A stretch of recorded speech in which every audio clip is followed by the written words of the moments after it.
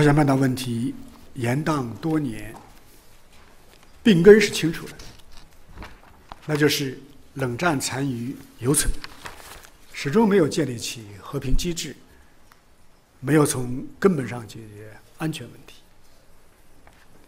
那么药方也是现成的，那就是中方提出的双轨并进的思路和分阶段同步走这个原则。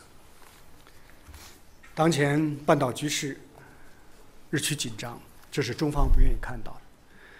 世界已经够乱了，半岛不应该再次生战生乱。谁要借半岛问题开冷战对抗的倒车，就要承担历史责任。谁要破坏地区的和平稳定，就会付出巨大的代价。中方在半岛问题上的立场是一贯的。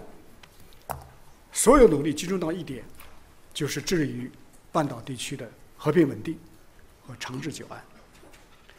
当务之急是停止威慑施压，摆脱轮番升级的对抗螺旋。